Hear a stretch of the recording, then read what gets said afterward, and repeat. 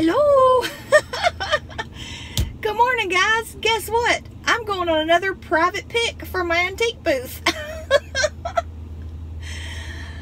I'll tell you what, I don't know. I've had some really good luck this year. Um, a lady that works for my husband, her grandmother passed away, and her sister um, was in charge of the estate. And so she is getting ready to have a garage sale and she told me that I could come and look early. so yay, yay for me.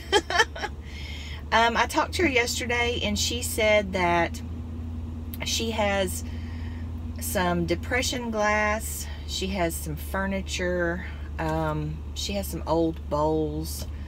Um, I'm trying to think of what all she said she had but you know the things that she told me she had it sounded very interesting. So i'm headed that way. Um, it is in junction city is where i'm headed. So i'm hoping that when i get over there she'll let me do a little bit of video footage for you guys so you can kind of see you know what all she had. And then afterwards i'll do a, a little haul video and show you all you know what i bought if i buy anything. You know i don't really know what her prices are going to be or if i'm going to be able to make any money on it. Um, we'll just have to wait and see. So here we go.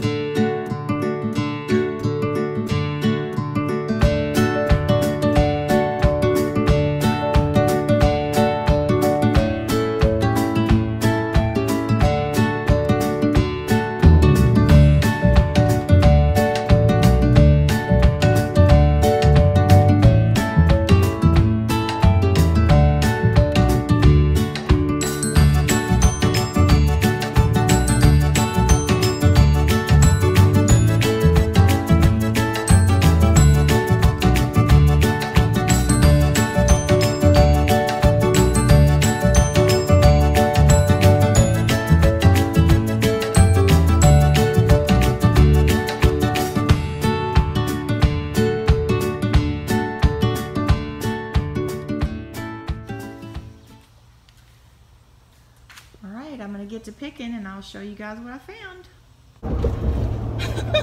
All right, y'all. you see this? Again, here we go.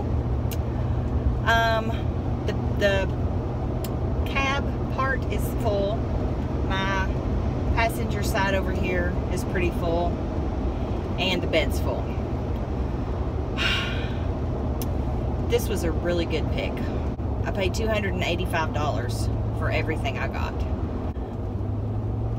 I got there at, I left my house this morning at 9, got to her house at 10, and it is now uh, 7 minutes till 3.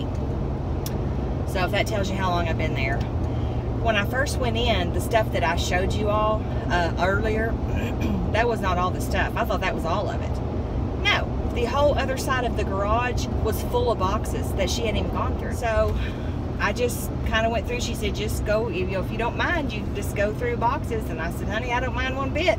I'm so glad that the girl that works for my husband, Elizabeth, that she, you know, told my husband about it because that was a really good pick. And I can't wait to show you all. Yay! okay, guys. If you'll pardon my garage, um, I have everything laid out that I bought. Um, I will go over here and start on um, this other area over here and we'll just kind of go through it all. This is going to be a long video, so grab you some coffee. okay, so I got this cart right here and uh, it's a little bit dirty. I need to clean it up. I'm keeping this cart for myself, but as you can see, it has electricity on it and it does work. Um, this is a little uh, piggy bank I got. This is a crate. Um, oh, and I forgot to, well, I told you all earlier, I paid $285 for everything I'm going to show you. Um, this porcelain nativity set, this um, coffee, you can see how dirty all this stuff was. This um, coffee container, I'm sure it was probably a set, um, but all, the, all there was was the coffee container um, these crates, all of these crates right here, and then there's another crate right back there. Um, these items, little porcelain um, tea teapot there. This Martha and George Washington salt and pepper shaker. This little guy, I don't know if you do put Parmesan cheese. I'm not sure what goes in here. Some of this stuff I have done a little bit of research on. Some of it I've done no research. So if you all know anything about any of this stuff, just like in my last haul video where I asked you to comment and let me know, please do that. Feel free to leave a comment. Let me know anything about this stuff. This is an old um, uh, measuring cup like that. And this old ashtray still has ashes in it from the Sahara Club in Las Vegas. Um, down here we have a crock, a little ring uh, holder, a Muppets cup or, or uh, cup glass. Um, this is a little, I guess, um, measuring. I don't know if that's a jigger for, uh, you know, booze or what that's for. This little Coca-Cola, it's real tiny Coca-Cola glass. Another little piggy bank. Um, this little dog, and he's got Japan on the bottom. Like I said, I've not done research on a lot of this stuff. Um, this egg holder down here, this little um, salt and pepper shaker here of the African American people, and this jar of lids for uh, jars and I was watching somebody, I can't remember who it was, and they said that if you can buy these, like several of them, it's good to lot them up and sell them, so that's probably what I'll do. Probably put those on eBay. Uh, this old jar, um, this lunch, this is a lunch pail, and it is from the 1930s. Um, the lady that I bought from, her grandmother had put notes in a lot of the stuff, what it was and what year it was from. So she had a note inside this little box, and it was a lunch pail that she carried in the 19, I think it was 1936. Um, this is a refrigerator container, I think, for butter. Um, these old shoes, and I knew that they were old when I first saw them because the tag in there, you can see. Um, so I thought those were kind of cool. This little container here and it has a lining that goes in it and I think there's like some jewelry and little things in there not anything that's worth anything um, this little iron I believe that that was a when they came and, and uh, sold you irons that was like a little um, what's the word I'm looking for well y'all know what I mean it's so hot I'm burning up this is a I haven't looked this up but this is a kerosene iron. I thought that was really neat. I'd never seen anything like that. This old Bible, um, this little piece here, got Japan on the bottom. This little elf guy here, Japan. Um, this is an old pincushion. This old doll. Um, all these wooden spoons. Um, this old picture here Look at that. And this glass jar with this bubbled out lid on it. This right here, I think is from the maybe the 20s or 30s, and I'm guessing that this was maybe a Flappers cigarette case. Like that. One of the little beads is missing, but still yet, I thought it was really cool. Uh, this is an old cigarette case from the 70s. I believe this is a tea infused. I guess you put tea leaves in there for tea, maybe, or coffee or something. Um, this little tea set. This little Mickey Mouse guy, I did a little bit of research on him. He's not worth a whole lot. These two little guys here, um, my friend came over a little, little, bit, little bit ago and she said her grandmother used to have these in her house. Um, a paperweight, this old iron right here that's really heavy. this string holder. Um, a colander. And this old tray.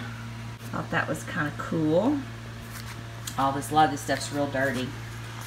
Um, this is an old bread box. I'm not sure what year this is from, but if I were to guess, I would guess maybe 40s, 30s, 40s.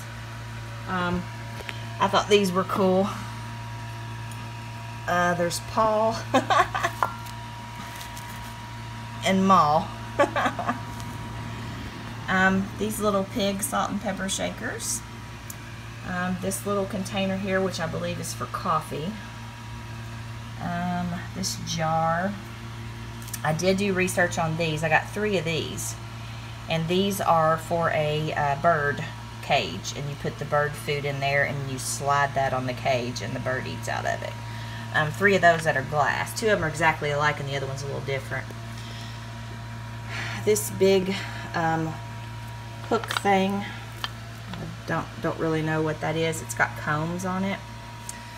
Um, these two little ceramic girls. That one and that one. And this right here, I believe is from the 50s. I'm not sure if that's a spoon rest or what that is. These two pieces of depression glass, I think this is a butter dish and a pitcher. And this right here on the bottom, it has Hull. I thought that um, Hull was worth more than what I thought it was, but when I looked it up, it's not going for a whole, whole lot. Um, this little thing here, um, this is an automatic drill. Um, I got that for my husband because I thought he might think, think that was pretty cool. These, sorry about this guys, but this is the best way that I knew how to show you all. These three pictures. And then there's that one and that one and you can tell those are well, those are fairly old. Um, this old Clorox bottle. Oh, sorry, my finger's in the way. um, these are for canning, that you lift the jar out of the canning water. And this one's really old. Squeeze it together to grab the jar. Um, a Big Ben clock that. Maxwell House coffee cup. Campbell's tomato soup coffee cup. Those aren't worth a whole lot. A piece of pink depression glass, and I have a ton of depression glass. So I'll just kind of scan over and kind of show you guys the, the depression glass that I got. Um, those two pieces right there are also hull pieces. Um, like I said, I've looked those up. They're not going for a ton. Uh, if you know a little bit more about Hull, let me know. This thermos is lamb chop. And I thought that might be worth some pretty good money, but apparently not. I really haven't found one online like that. Um, this piece right here, sorry, I'm having to step over all this stuff to show you guys. Um, This piece right here, I wasn't really sure about it. On the bottom, it has Empire. I haven't done any research on this yet. Porcelain Empire 55 of 1637. So I'm not real sure about that. A few more depression glass. Um, these right here, I told my husband I think what these are for. I could be totally wrong. But if they're for matches, and you hang that on the wall and you put your matches in there, um, he said he didn't think that's what they were. But if you guys know what they are, let me know. Uh, these two little birds here. And they just have marked on the bottom USA. So, haven't done research on those. Up here we have a little bride and groom porcelain set. Um, a scale, which I need to kind of work on um, some old locks, and there is a cast iron owl and a skunk. Um, one of the corn molds, but it's a tiny one. It's not like the regular size one. That old truck has got made in Germany on the bottom. That is a powder case, um, and it has powder in it still. um, an old sifter. This stool is an old organ or piano stool and it has the claw feet and the claw feet are are clutching a glass ball and all of them are still there. So I looked this up. Um, it's going for pretty good money, but I, I paid pretty good money for it. Um, I paid a hundred just for the stool alone. So basically, the stool was a hundred, and everything else was a hundred and eighty-five. So I don't know. I haven't decided if I'm going to try to sell that, or I might just keep it for myself. Um, these Coca-Cola ashtrays, not worth much, but I picked them up anyway. They still have the plastic on them, never been used. Um, this is an old purse and it is from, I believe it's from 1963. Um, it says on the inside, the original box bag by Collins of Texas, hand decorated for you, copyright 1963. I believe that's what that says. So I thought that was kind of neat. Ugh. This casserole dish here, um, the lid has a chip on it, but I liked it. Tom's roasted peanuts. That came from an old general store. Um, this old tobacco hatchet or tobacco cutting tool. this is an old bank. Um, a barometer. This crock here. Um, this porcelain doll her head and hands are porcelain. This monkey, I don't know if he's worth anything, but I think I remember having one of them when I was little. This vintage 1970s, 60s or 70s ashtray I thought was really cool. Um, this doll, she's got the uh, eyes that open and close. When you turn her up, the eyes open. This old jug. This, excuse me, butter churn. Um, and the emblem on there, I believe, I've looked done a little bit of research on this, and that is from a company in Louisville uh, made this. And it does not have the churn paddle with it, it's just the crock. This set of glasses here, um, I have not done any research on those, but I believe there's eight. Yeah, there's eight of those. This old doll here and um, her hair when I got her was like all on top of her head and matted and I was able to kind of brush it out so she looks a little bit better but I think the lady um, that I bought all this the woman that owned all this stuff I believe that she made this doll because her daughter told me that she made dolls and I looked on the back and the there is a date on the back of 1963 and it has a name on it. I tried to look it up and couldn't find anything so I'm thinking that she made this and another reason I think she made it is because the sewing on it is not it's kind of wonky like it's not real uniformed. Um, I could be wrong but anyway. Then I got all this old enamel um, you know uh, two chamber pots and this bowl here and this bowl here and then this is a porcelain bowl. Um, is that all? I think that's about it um, that's quite a bit oh this set right here and I'll tell you about this set it was funny because when she started pulling this out of the box I told her I said you don't even have to pull all that out put it right back in there because I want it I believe, if I'm not mistaken, that this is from the 50s. Um, I guess, kind of guessed that, but just because of the colors. I could be wrong. If you know anything about this, um, please leave me a comment let me know. Also, the quilt that all of this is setting on is just a quilt top. Um, it's not put together, but it's all been hand stitched. And you all know me and my quilts, so I'm going to have this uh, done, finished.